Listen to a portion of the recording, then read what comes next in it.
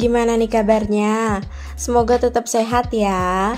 Aku tuh kangen banget buat bikin video, jadi puji Tuhan aku bisa bikin sekarang dan aku juga bisa upload.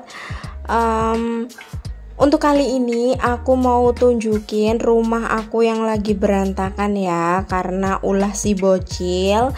Dan sebelum aku mau beres-beres aku makan dulu buat tambah tenaga. aku berdoa dulu. Dan di sini kenapa aku makan mie? Karena aku nggak lagi masak. Nggak tahu ya moodnya ibu-ibu selalu berubah gitu. Jadi kalau seharian aku nggak pengen masak ya aku nggak akan masak dan di sini aku cuma bikin mie terus itu ada telur sedikit karena sisa makannya anak. Aku kasih nasi juga supaya sedikit kenyang ya kenyangnya lebih lama gitu.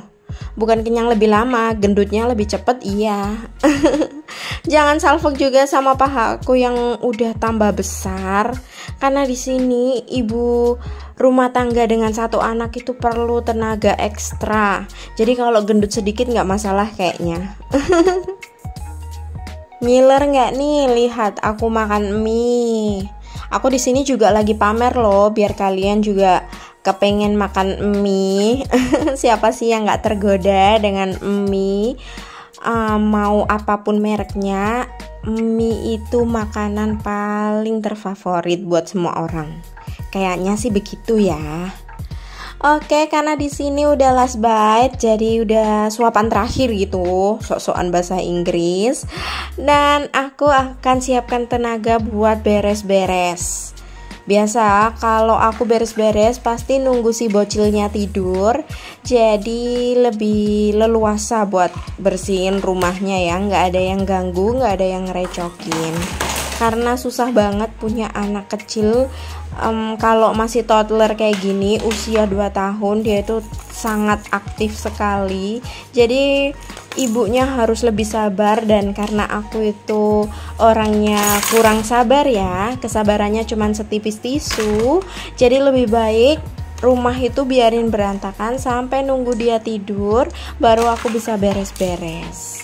Daripada setiap main aku beresin kayak gitu terus nanti akunya yang emosi nggak usah nunggu gitu sih. Sebenarnya aku juga tiap hari emosi. Nadaku itu udah nada nada tinggi terus. Di sini siapa sih? Ibu-ibu um, anak satu atau anaknya yang masih toddler yang kesabarannya setipis tisu? Uji mental banget nggak sih kalau punya anak toddler itu Dulu tuh aku seneng banget komentarin ibu-ibu yang kadang nggak memperhatikan anaknya atau anaknya nangis dibiarin, anaknya mainan hal yang nggak seharusnya dibuat mainan itu tetap dibiarin. Tapi sekarang aku baru sadar setelah aku jadi ibu, terkadang itu ibu juga perlu waktu untuk kewarasannya, perlu waktu untuk me time-nya, perlu waktu untuk kesadaran dirinya, mentalnya supaya lebih sehat. Gak harus dia memperhatikan anaknya 24 jam. Yang penting anaknya tidak melakukan hal-hal yang membahayakan dirinya aja. Karena setelah jadi ibu itu rasanya berat banget tapi di sini pasti ada ibu-ibu lainnya yang berpikiran kayak kamu aja yang kurang bersyukur, kamu aja yang nggak bisa menerima atau bahkan hal-hal lainnya. Aku juga nggak akan nyalahin pemikiran kalian, tapi di sini aku cuman lagi pengen cerita dan pengen mengeluh sedikit aja di video. biasa ibu-ibu sok paling capek aja tapi beneran sih memang jadi ibu tuh capek banget bukan jadi ibu rumah tangganya ya tapi jadi seorang ibu yang sudah punya anak. Oke karena sesi curhatnya udah selesai di sini aku juga akan lanjut dengan budgeting. Bulan kemarin kayaknya aku nggak budgeting deh tapi aku akan budgeting di bulan November. Wah, aku nggak nyangka sih ternyata aku udah bisa masuk sampai di bulan November di tahun 2023 dan kurang jalanin satu bulan lagi bulan Desember kita udah bisa masuk ke tahun 2024 Puji Tuhan banget dikasih umur panjang sampai di tahun sekarang kita cuman bisa bersyukur dan berterima kasih sama Tuhan sudah kasih kesehatan, kasih umur panjang buat kita. Oke, lanjut aja. Sekarang aku mau budgeting buat November dan di sini juga aku udah tulis semua pemasukan dan pengeluarannya. Seperti biasa aku akan jelasin buat gaji suami yang aku tulis itu sudah dikurangi dengan cicilan rumah, tabungan utama dan juga ada perpuluhan untuk gereja. Dan puji Tuhannya sudah sekitar 2 atau tiga bulan ya dua bulan kalau nggak salah. Suami itu ada lemburan jadi puji Tuhannya untuk lemburan kita bisa ngasih ke orang tua. Tapi aku nggak bisa sebut nominal ya. Untuk pemasukan yang aku tulis tetap sama seperti biasa 2.200 kalau untuk lemburan nggak aku tulis itu untuk kebutuhan lainnya dan untuk orang tua. Kenapa aku ulang-ulang terus ya. Oke, aku siapin dulu uangnya dan di sini aku tetap pakai dompet pintar yang biasanya aku pakai.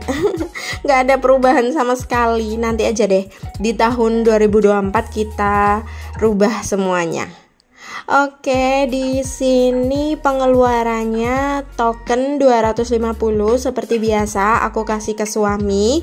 Untuk pulsa um, 50.000 ini pulsa aku buat internet. Kalau lagi keluar-keluar karena kan kalau di rumah pakai wifi ya. Untuk PDAM juga 50.000 itu buat satu bulan cukup puji Tuhan. Untuk iuran perumahan sampai di akhir tahun aku udah bayar jadi di sini aku skip untuk maaf aku nafas dulu ya. Untuk lanjut LPG 25.000 karena aku nggak ada uang pecahan jadi aku masukin aja tetap 50.000 lalu ada air galon 150.000 untuk beras 150.000 juga. Aku biasanya satu bulan 10 kilo nggak habis juga sih buat bulan depannya lagi. Untuk BPJS sekarang 150.000 karena untuk 200 ribunya di bulan Oktober kemarin sudah selesai buat tabungan perayaan. Bukan perayaan. Um, apa sih? Acara seribu harinya mamaku udah selesai.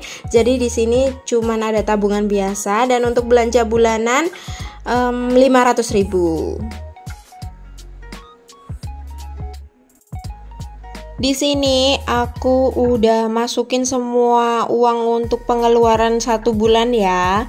Dan lanjut, aku akan isi sinking funds ada 4 kategori tabungan yang aku pakai ada dana pensiun, dana darurat, tabungan pajak motor, tabungan orang tua suami. Kalau untuk tabungan adik aku masih aku skip karena puji Tuhannya masih dikasih dari gereja. Sebenarnya kapan hari itu aku udah bilang buat di stop aja, tapi mereka bilangnya nggak apa-apa. Ya sudah, kita terima saja. Dan untuk dana pensiun di sini aku isi 200.000. Jadi totalnya untuk 11 bulan ada 2.200 ya. Karena udah lama nggak bikin video, jadi um, udah lama juga nggak ngedit, nggak isi suara. Rasanya engap ya kalau ngomong terus kayak gini. Oke lanjut aja ke tabungan kedua ada dana darurat 100 ribu setiap bulannya. Puji Tuhan di tahun ini belum kepake Jadi totalnya masih ada 1 juta 100 ya Kalau nggak salah. Ya harusnya seperti itu. Nanti akan aku hitung juga kok uangnya Kadang itu kalau isi suara seperti ini bukan ngap doang ya, tapi juga bingung mau ngobrolin apa atau mau bahas tentang apa selain budgeting karena kalian pasti bosen kan dengerin aku. Pengeluaran dan pemasukan semuanya sama setiap bulan. oke oke, kita lanjut aja. Buat tabungan ketiga ada tabungan pajak motor, aku tambahin 50.000 karena di sini udah penuh coretannya. Aku mau tulis aja plus 50 gitu. Dan totalnya di sini aku udah punya 400.000. Kemarin sih suami udah aku tanyain karena pajak motornya itu di bulan November dan totalnya sekitar 250 sekian lah ya. Itu nanti masih ada sisa dan aku akan pakai buat um, pajak motorku di bulan April. Maksudnya tetap aku lanjut gitu tabungannya. Oke dan untuk tabungan orang tua orang tua suami maksudnya untuk terakhir kalau nggak salah itu ada uang 600 ribu tapi karena kemarin kebetulan lemari di rumah orang tua suami itu rusak jadi kita belikan lemari bukan belikan sih sebenarnya cuman kasih sedikit um, apa ya bahasanya aku takut salah urunan gitu ya urunan kasih semua uangnya buat beli lemari Oke, segitu aja sih. Jadi total semuanya untuk pengeluaran 1.325.000, untuk sinking funds 450.000 dan sisa gajinya 425.000. Puji Tuhan, sisanya banyak buat pegangan istri jadi nggak minta-minta lagi buat belanja sayur atau jajan. Ya semoga ya berharapnya seperti itu. Oke, dan di sini buat sisanya aku masukkan ke binder kecil. Dan kenapa setiap bulan aku nggak pakai binder ini? Karena ini untuk tabungan-tabungan aku yang tersembunyi. Yang aku nggak bisa sebutin satu-satu ya karena bahaya. Cukup aku dan suami aja yang tahu.